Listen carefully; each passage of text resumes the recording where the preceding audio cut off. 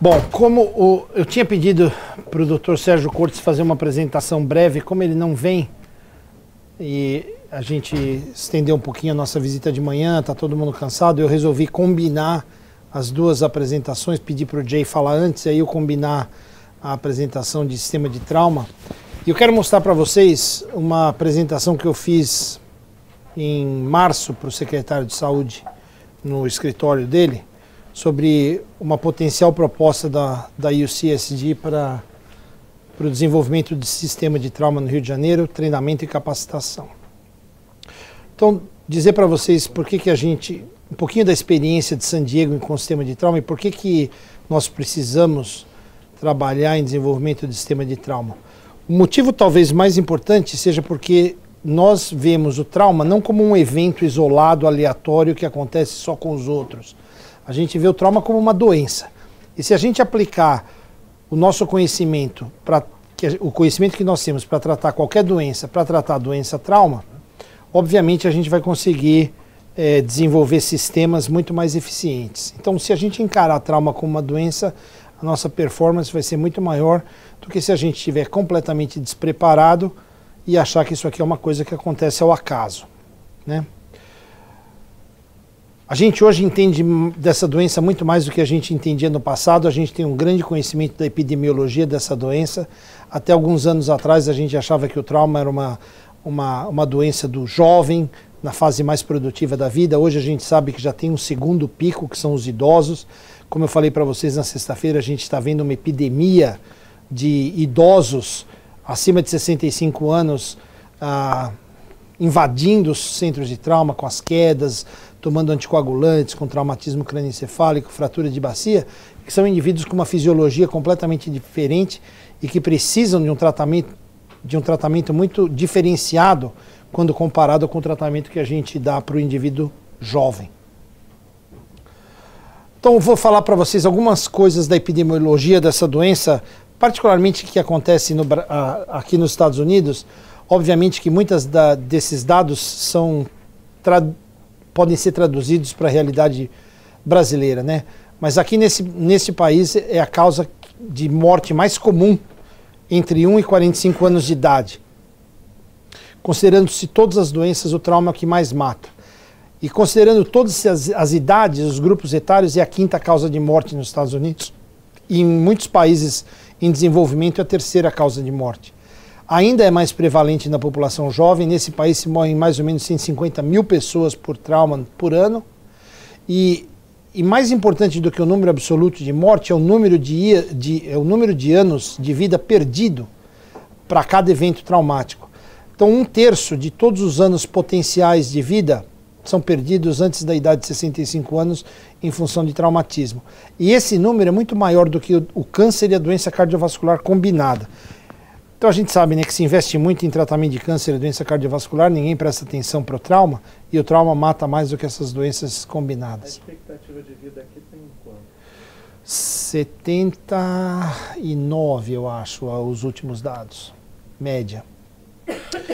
Quedas uh, é a causa mais frequente de morte nos indivíduos acima de 65 anos. A gente pensa no idoso e fala o idoso morre de câncer ou doença cardiovascular Nesse país, a causa mais comum de morte acima de 65 anos é queda.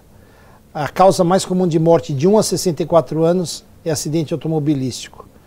Uh, obviamente que o trauma crânioencefálico e a lesão medular tem complicações extremamente altas.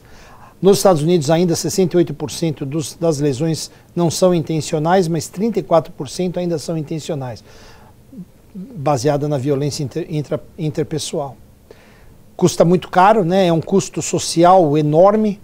Todo, de todos os dólares gastos em, em sistema de saúde nos Estados Unidos, 10 a 12% de todo o montante gasto é gasto em, em trauma.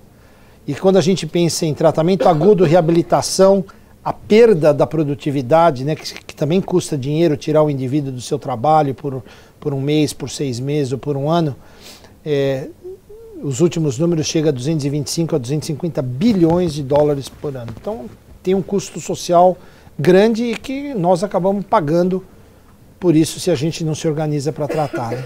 Até recentemente a gente acreditava, e até acredita ainda, que existe basicamente três picos de mortalidade, né? Tem o indivíduo que morre na rua de uma lesão letal, que a única maneira de diminuir esse pico de mortalidade, que é mais ou menos 45, 50% de todos os óbitos, é prevenção. Então, educação, é melhoria de condições sociais, educação ah, na escola, é, melhoria das condições de vida, etc. Então, são estratégias de prevenção, programas em massa, etc. Difícil de, de, de, de se implantar, mas possível de, de se demonstrar resultado. Dos doentes que não morrem no local do acidente ou durante o transporte que chegam ao hospital, mais ou menos 30% das mortes ocorrem nas primeiras horas. Né? Por isso vem aquele conceito da hora de ouro que o ATLS tanto preconiza, quer dizer, você tem uma janela de oportunidade ali quando o doente chega com sinal de vida no hospital e tra tratando da, de maneira adequada, de uma maneira compreensiva, etc., é, você pode diminuir essa, essa mortalidade. E até uns anos atrás a gente falava num terceiro pico, que para nós aqui isso está desaparecendo, mas ainda se vê muito é, em outros locais, que é o pico tardio de morte, ao redor do quinto, sétimo dia, entre a primeira e a segunda semana, que são os doentes traumatizados que sobreviveram ao evento inicial e que vão morrer na UTI de sepsis e falência orgânica múltipla. Por que, que esse pico está diminuindo? Porque hoje a gente tem um, um, uma ideia muito melhor do que fazer na fase inicial. E tudo que a gente faz na primeira, segunda, terceira hora tem um impacto muito grande na incidência de falência orgânica. A gente sabe que esses dois picos eles estão relacionados. Quanto melhor for a sua performance no começo, transporte rápido para o hospital certo, reanimação agressiva, protocolos pré-determinados, vai ter menos falência orgânica, vai ter menos morte tardia. Então esse, esse número aqui diminuiu muito. Antigamente a gente falava em 20% das mortes eram mortes tardias. Hoje a gente não vê mais SARA por trauma no nosso UTI. Ainda se vê SARA por sepsis, mas não se vê por trauma. Não se vê mais pulmão de choque por reanimação é, desregrada. Não se vê mais é, insuficiência de múltiplos órgãos na incidência que se via antigamente. Porque hoje a gente aprendeu a tratar das coisas nessa fase para evitar complicações tardias. Mas, em geral, essa distribuição trimodal ainda é uma coisa importante. E, em função disso, que aparece o conceito desse sistema ideal onde uh, doentes são tratados de uma forma continuada durante esse espectro da doença uh, e os sistemas de trauma têm um papel muito importante nessa, nesse pico inicial de mortalidade. Se a gente for olhar para trás, nos últimos 30 anos nesse país, a gente conseguiu uma série de avanços né, em termos de desenvolvimento de sistema de trauma. A gente evoluiu no treinamento de paramédicos, o sistema passou a ser em geral regionalizado, uh, o sistema do, do, telefone único 911, onde todo mundo sabe se acessa rapidamente o socorro, uh, cursos de treinamento como a TLS que se espalharam no mundo inteiro. Uh, o Colégio Americano de Cirurgiões criou os standards para o trauma, para o cuidado do traumatizado, né? Existem, eu até dei para o Canete, para algumas outras pessoas em dezembro esse livro que agora já está na versão de 2006 e a semana que vem eu estou indo para Chicago para a gente revisar a versão 2012 desse, desse livro que sai em março do ano que vem, que realmente é a bíblia de como montar um sistema de trauma e como montar um centro de trauma com todos os recursos, com todos os pré-requisitos, com todos os itens relacionados a controle de qualidade, informática, registro, etc. Então o Colégio Americano de Cirurgiões definiu esses estándares. Então isso foi um tremendo avanço, porque hoje já se tem uma cartilha de como se criar essas coisas.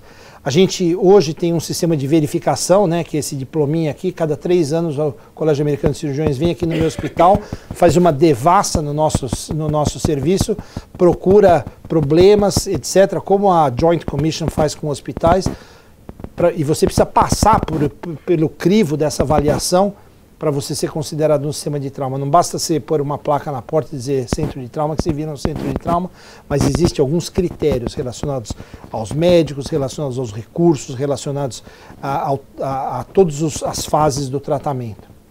Quando isso tudo se junta, se junta num grande banco de dados, como eu falei na, na sexta-feira, que é o National Trauma Data Bank, que hoje tem quase 5 milhões de de doentes e que é a maior base de dados na medicina no mundo inteiro, de qualquer doença, a, é a, a, a base de dados de trauma, que é utilizada para benchmark e para pesquisa. E, por fim, o TICWEP, que é aquele sistema que dá aqueles gráficos que eu mostrei para você na sexta-feira, que mede a sua performance versus a performance do resto do país. Então, isso tudo junto cria esse modelo de tratamento de uma doença, na verdade, não de um evento esporádico, aleatório, que a gente não tem nenhuma responsabilidade sobre ele. A gente sabe definir, sabe qual a fisiopatologia, sabe tratar, sabe identificar as complicações, sabe fazer controle de qualidade, então isso é uma doença, não é um, não é um evento aleatório. Obviamente que os sistemas de trauma hoje funcionam, particularmente aqui nos Estados Unidos, como uma infraestrutura para o atendimento aos desastres, aos desastres e às catástrofes, né? Uh, vocês provavelmente acompanharam recentemente a onda de furacões nas últimas duas, três semanas no Alabama, no, no Missouri, que são os estados pobres que não têm sistema de trauma, e vocês veem o número de vítimas e a devastação. Quando acontece um terremoto na cidade de Los Angeles, na cidade de São Francisco, que, que tem sistemas de trauma evoluídos, né, no estado da Califórnia em geral, o número de, de, de vítimas é muito menor. As grandes queimadas aqui em San Diego também 1 milhão e 200 mil pessoas se deslocam das suas residências, perdem todas as propriedades, mas ninguém morre, ninguém sofre lesões graves. Por quê? Porque tem um sistema organizado que fala para as pessoas para onde ir, que, que responde rapidamente. E isso tudo é base, essa malha essa de, de, de resposta a desastres está tá, tá intimamente ligada ao sistema de trauma.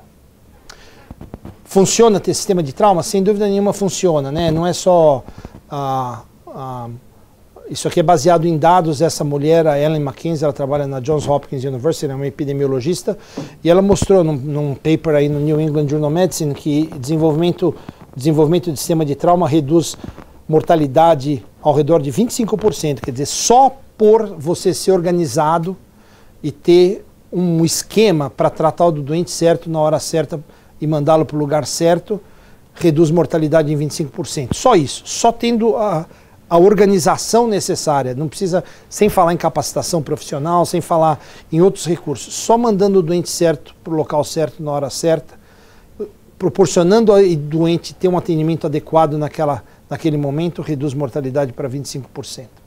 Então o que, que nós temos aqui em San Diego? Falei para vocês na sexta-feira, a gente tem um sistema que é de 27 anos, é um sistema maduro, é uma parceria pública-privada, na verdade, onde o condado né, de San Diego, aqui a Secretaria de Saúde do condado, está no centro e gere esse sistema, e ao redor estão os, os parceiros privados. Né? Cada um desses hospitais é um centro de trauma, aqui está o Children's, nós e outros centros de trauma. E com ao redor desse órgão gestor uh, no centro, que é o, o nosso parceiro público. Eu mostrei isso para vocês, né? O estímulo para montar o sistema foi um número absurdo de mortes que não deveriam ter ocorrido no ano de 1982 e só por ter designado o centro de trauma e levado os doentes para os hospitais onde existiam times comprometidos a atender o doente, um ano depois da implementação do sistema, o número de morte evitável caiu para 2,7% e eu falei para vocês sexta-feira que é menos do que meio por cento por ano agora quando a gente compara a performance, não só desse centro de trauma, mas do nosso sistema com a performance natural, San Diego perform, a performance de San Diego é melhor. Os doentes mais gravemente traumatizados têm uma evolução melhor do que os dados comparativos nacionais uh, que a gente pode comparar né, usando como benchmark. Então, realmente, ter um sistema organizado, um sistema maduro faz diferença para a população. E eu disse para vocês também que a maioria dos doentes que morrem aqui morrem nas primeiras seis horas, muito pouca gente vai morrer depois das seis horas. Então aqui tem morte no local do acidente, morte, che chegou morto no hospital, então esses dois aqui não contam, né? Então você começa a contar aqueles que chegaram com vida no hospital, a maioria que morre, morre até seis horas. De 6 a 24 horas, existe ainda, esses dados são de 93, eu vou te mostrar os dados de 2009, ah, esses doentes que morrem aqui morrem geralmente de lesão de, de sistema nervoso central. E depois disso, muito pouca gente morre. Aqui, vocês veem que em 93 a gente ainda via aquele terceiro pico de mortalidade, que agora, eu, quando eu mostrar os dados de 2009, você vai ver que basicamente desapareceu. E aqui está, dados de 1998, aquele terceiro pico vai embora. Se você sobrevive, se você vier para esse centro de trauma aqui e sobreviver seis horas, tem grande chance que você vai sair do hospital. Então, o número de mortes depois das, das horas subsequentes, após a sexta hora, é muito baixo. Mais uma vez, quem morre aqui morre sangrando, quem morre aqui morre de trauma de crânio, e aqui basicamente ninguém mais morre. E esses são os dados de 2009, né, que o meu partner, o Vishal, uh, talvez venha aqui daqui a pouco, é, publicou no, uh, recentemente. A gente estava questionando esse conceito da hora de ouro. A gente acha que, na verdade, são as seis horas de ouro. Que você pode estender um pouquinho aquela janela para tratar desses doentes. E a, o jeito que a gente fez isso foi olhando, né, é, fazendo uma análise do número de mortes uh, por hora. Então vocês podem ver que o número cai dramaticamente depois da sexta hora. E interessante, quando você faz uma análise de todas as mortes por, uh, por um período de 24 horas, a, as mortes por trauma de crânio, crânio encefálico, ou o doente morre antes de chegar, porque é uma lesão devastadora do sistema nervoso central, ou então, se ele chegar no hospital, a mortalidade, na verdade, aumenta com o tempo, enquanto que a mortalidade por hemorragia diminui em relação ao tempo. E depois das 6 horas, a mortalidade cai, cai, cai, e depois de 24 horas ninguém morre mais por sangramento, obviamente. O que, que nós fizemos aqui em San Diego? A gente, esse, esse é o mapa do condado de San Diego. Cada, cada área dessa tem um trauma center que é responsável. Então vocês veem que as áreas, do ponto de vista geográfico, do ponto de vista de área geográfica, elas não são semelhantes. Por exemplo, o nosso hospital, que está aqui, tem a área geográfica de cobertura, a menor área geográfica de cobertura do condado. Em, por outro lado, a maioria da população vive aqui.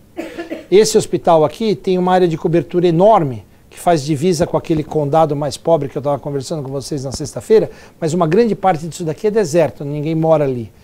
Então, no final das contas, a área geográfica não importa tanto. O que importa é que qualquer evento que ocorrer dentro de uma dessas áreas pré-determinadas vai para aquele centro de trauma. Não, não, não se cruza a linha das áreas geográficas. Né? Então a gente se organizou de uma maneira de que o condado inteiro fosse coberto e que cada área geográfica tivesse um centro de trauma responsável por aquela área. Então, não cria confusão com os paramédicos, não cria confusão com os provedores de saúde, eles sabem exatamente para onde levar o doente. Uh, bom, então a gente tem o sistema, vários hospitais geridos pela secretaria, trabalhando numa, numa parceria público-privada. E aí, um componente importante do sistema, não é o único, mas é um muito importante, é o centro de trauma, que é, uma, é um acute care hospital, né? Uma, um hospital agudo, onde a gente, para virar um centro de trauma, a gente tem que seguir a nossa cartilha aqui e preencher todos os pré-requisitos para a gente ser verificado e acreditado como um centro de trauma. Então a gente tem os estándares para seguir, tem banco de dados, controle de qualidade, protocolos, etc.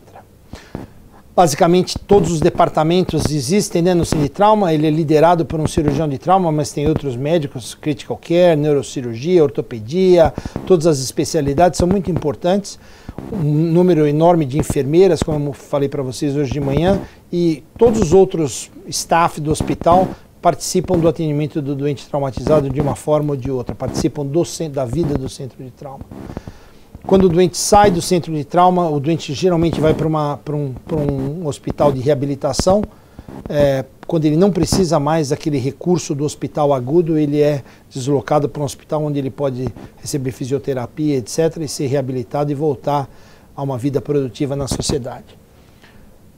Todo, Todo esse processo é documentado, a gente usa os dados internamente e a gente divide os nossos dados com, a, com esse banco de dados nacional na oportunidade de fazer pesquisa, é, é, tentar fazer estratégias, desenvolver estratégias de prevenção, olhar a nossa utilização, as nossas operações e eventualmente comparar a nossa performance com a performance dos, dos outros. Como que a gente monitora esse sistema de trauma? Né? Quando a gente forma esse sistema e tem todos esses recursos disponíveis, como que a gente faz? Então também comentei com vocês na sexta-feira que a gente tem esse comitê de auditoria médica no trauma, né? onde a gente se reúne como um sistema uma vez por mês, onde todos os centros de trauma se juntam para discutir os seus erros, os seus acertos, aprender um com o outro e crescer junto e desenvolver protocolos juntos, fazer pesquisa junto. Então a gente aprendeu nesse processo de maturação do sistema, a não precisar se sentir acuado, se sentir ofendido, se esconder os nossos erros, mas a gente quer expor os nossos erros para que o sistema é, nos ensine a como melhorar da próxima vez. Então é um sistema baseado em cooperação, na troca de ideias e obviamente que, que o foco do sistema é em resultados, não nos processos, né? Eu disse para vocês também que muitas vezes é, é, o, a, a, análise dos erros que a gente comete no atendimento do doente traumatizado é um processo muito complicado. Basicamente, a gente tem focado em cinco áreas. Né? Se a gente está praticando abaixo do, daquilo que é considerado standard of care, a gente precisa resolver o problema. Se o, o, o padrão de lesão mascara lesões despercebidas e a gente deixa passar coisas que teoricamente são importantes, a gente precisa ter muita atenção com relação a isso. Se a gente não reconhece a gravidade da lesão, aqueles casos borderlines, se a gente erra na interpretação diagnóstica, principalmente radiológica, é um problema. E o erro na prioridade da sequência de avaliação também é um problema. Então, essas cinco coisas estão sempre na cabeça da gente para a gente melhorar cada vez e, cometer cada vez menos erros. Ah, como eu disse, avaliação, o controle de qualidade no hospital é um processo complexo. Complexo porque a situação clínica é complexa, muitas vezes a gente não tem todas as informações, muitas vezes existem erros de comunicação, muitas vezes a experiência faz a diferença e, para falar a verdade, a, a, incidência dessas, desses erros não é tão frequente. Então, quando as coisas não acontecem com uma frequência é, pré-determinada ou não acontecem numa frequência é, constante, às vezes a gente esquece. Quando a gente esquece e para de fazer atenção, a gente baixa a nossa guarda, os erros voltam a acontecer. Então é sempre importante estar sempre alerta e ter um mecanismo, seja com a ajuda de, da tecnologia de informação, banco de dados, é, filtros, etc., de estar avaliando esse sistema passo a passo, minuto a minuto, dia a dia. Eu quero mostrar esse, esse slide porque eu acho que fazer controle de qualidade é isso aqui esse lado. É complexo, é papel, envolve um monte de gente, gente que de, de, de, diferentes backgrounds, gente que é médico, gente que não é médico, tem o advogado, tem a lei, tem a polícia, tem de tudo. Então é um sistema complexo. Esse quadro aqui, eu tirei essa fotografia quando eu fui convidado para ir num hospital aqui em Tijuana, no México, né, aqui na fronteira, e eles queriam me mostrar o hospital novo deles. Quando eles abriram a porta do centro cirúrgico, a primeira coisa que eu vi foi esse quadro. E eu não resisti e tirei a foto. Então você vê Jesus abraçando assim o cirurgião e ajudando o cirurgião, né? Vou falar uma coisa, controle de qualidade em trauma, Jesus não vai te ajudar. Ou você faz ou você não faz. Deus não está do seu lado para você fazer controle de qualidade, né? Então não, é, é melhor trabalhar num sistema assim do que acreditar que alguém lá em cima vai ajudar você e que as coisas vão sair bem, porque você vai cometer os mesmos erros se você não identificá-los e se você não tratar de corrigi-los. A gente fala muito em medicina baseada em evidência hoje, né? E controle de qualidade hoje é uma coisa complexa porque tem muito protocolo, tem muito guideline, tem muita coisa na literatura, tem muita análise sistemática das melhores práticas, etc. Mas no fim, em resumo, você precisa ter dados suficientes para você comparar laranja com laranja, maçã com maçã. Se você comparar maçã com laranja, você vai ficar todo confuso e as coisas não vão sair bem. Então é importante, eh, realço mais uma vez a importância dos registros informatizados para controle de qualidade trauma.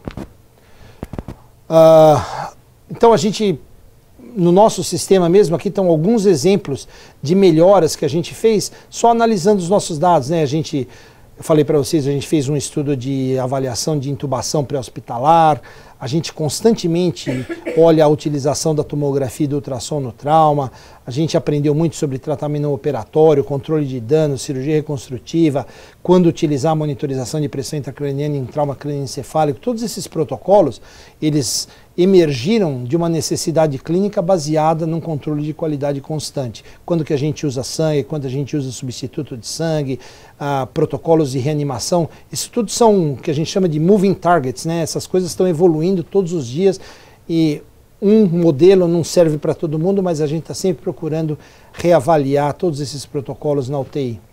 E eu falei isso para vocês também na sexta-feira, né? Hoje a gente está num ponto nesse sistema aqui maduro de que não é só saber quais são os nossos erros, uh, mas uh, eu estou muito preocupado em consistência. Então é aquela história, né? A gente fala que faz, mas com qual frequência você faz aquilo que você fala que faz? Porque falar é fácil, fazer é difícil. Então hoje a gente está muito preocupado em medir consistência. Então, por exemplo, na UTI, eu falei para o pessoal que estava ah, passando com a gente, né? A gente tem checklists, né? Que nem o piloto dentro do avião, que não, o avião não sai se ele não fazer o checklist. A gente também tem na UTI. Então, a gente faz a pergunta: está comendo? Sim ou não? Se a resposta é não, a próxima pergunta é por que não? Recebeu profilaxia da trombose? Sim ou não? Se não, por que não? A gente não consegue saber se a gente está sendo consistente ou não. A gente pensa que a gente está fazendo, mas a gente não está fazendo. Então isso é uma coisa importante. Como um centro de trauma nível 1, além de proporcionar esse atendimento médico, a gente também tem responsabilidade de pesquisa, de, de ensino, pesquisa, de liderança, né? É, é, é, dentro do hospital e fora do hospital. A gente tem que trabalhar em prevenção e tem que também dar alguma coisa de volta para o público que suporta esse sistema e que pensa que todo hospital é um centro de trauma, né? Em termos de educação, pela nossa proximidade com a fronteira, a gente trabalha muito junto com os nossos colegas do México. Pela minha nacionalidade, eu tenho muita, muita, muito contato e ainda muita influência no Brasil. É, a gente tem partners internacionais. Está aqui o Dr. Yamamoto, que chegou do Japão hoje, uh, que eu fui visiting professor em, em Tóquio ano passado, em Yokohama, e eu estou ajudando o pessoal em Yokohama a desenvolver um sistema de trauma, e ele veio para cá para passar um mês com a gente e aprender as coisas que, que a gente está fazendo aqui. Então, essa, essas, essas, esses partnerships internacionais são muito importantes para a gente manter o nosso estímulo alto e, e, e tentar ajudar aqueles que precisam. A gente tem um centro de epidemiologia, prevenção e pesquisa dentro do centro de trauma, e o objetivo desse centro é proporcionar suporte para o centro de trauma, através de análise de dados, desenvolvimento de projetos, é, pesquisa trans, translational research, né, do, do, da, do leito para o laboratório, do laboratório para o leito, trabalhar em prevenção, trabalhar em acesso à comunidade e também ajuda a gente a ter uma, um relacionamento com a imprensa, quando a gente precisa da imprensa para estar do nosso lado. Desastre é uma parte importante do sistema, alguma coisa que no Rio de Janeiro seguramente vocês têm que começar a pensar, né? Se fala muito pouco em medicina do desastre no Brasil. Vocês viram o Jay, eu não sei se vocês conseguiram pegar, ele falou rápido demais, mas ele acabou de voltar do Brasil, ele estava no Pantanal, em Bonito, representando o Colégio Americano de Cirurgiões, e ele levou para o Brasil o primeiro curso de trauma o primeiro curso de desastre do Colégio Americano de Cirurgiões para médicos. Esse é um curso diferente dos cursos de desastre tradicionais, que ensina como resolver o problema do desastre no local do desastre. Esse ensina o médico que está no hospital como responder a um desastre que ocorre na sua localidade. Ah, então, como se mobilizar dentro do hospital, como parar cirurgias, como abrir espaço, como aumentar sua capacidade, como descontaminar doentes para não, não criar um problema para o hospital. Enfim, a resposta hospitalar ao desastre. Isso é uma coisa que a gente vai incluir na nossa proposta de educação, porque é um curso de um dia, simples, o, o manual está sendo traduzido para o português, etc. Nesse sistema de preparo a desastre, o cirurgião de trauma é o, o líder do time da resposta hospitalar. Ah, para a gente aqui é fácil com o Jay, com a, com a experiência que ele tem não só civil, mas militar. Uh, esse centro de trauma é o único lugar na costa oeste dos Estados Unidos a ensinar o curso de desastre do American College. Uh, um outro curso de desastre que foi ensinado no Brasil recentemente, no Rio de Janeiro, inclusive, que você assistiu, você estava lá, é o curso da Sociedade Pan-Americana de Trauma, que eu e a doutora Briggs, de, da Harvard, uh, escrevemos e que o livro já está traduzido no português. Então, um curso para resposta fora do hospital, um curso para resposta dentro do hospital. E, e, prepara desastre é treinamento, treinamento, treinamento, né? Fazer esses treinamentos maciços para que todo mundo responda no hospital e que todo mundo saiba a sua responsabilidade numa situação de desastre. Então, realmente uma mudança de cultura que faz parte do desenvolvimento do sistema de trauma. Pesquisa, vocês foram no laboratório hoje, Uh, no seu memory stick aqui no seu uh, thumb drive tem um, uma lista das publicações dessa divisão de trauma desde 1984, do dia que o de Trauma foi criado até sexta-feira passada, são 515 papers publicados por essa divisão. Em 27 anos, 515 papers, muitos deles em desenvolvimento do sistema de trauma. O uh, ah, que mais? O Jay falou da experiência nos Jogos Olímpicos. E, e, precisa ter liderança, né? É, aqui são algumas das coisas que a gente tem se envolvido. Eu comentei com vocês as custas do trabalho que a gente vem desenvolvendo. A gente vai presidir esse congresso que eu espero que todo mundo atenda no Rio. Eu estou muito envolvido com o Colégio Americano de Cirurgiões, Comitê de Trauma. Eu não quero ficar falando disso para falar de mim, mas eu quero mostrar para vocês a importância de, de fazer o que a gente faz na esfera global, né? A gente está uh, envolvido na Associação Americana de Cirurgia de Trauma, uh, na Sociedade Pan-Americana de Trauma. Eu tenho um cargo no governo do estado da Califórnia, apontado pelo governador como um membro do Trauma Advisory Committee.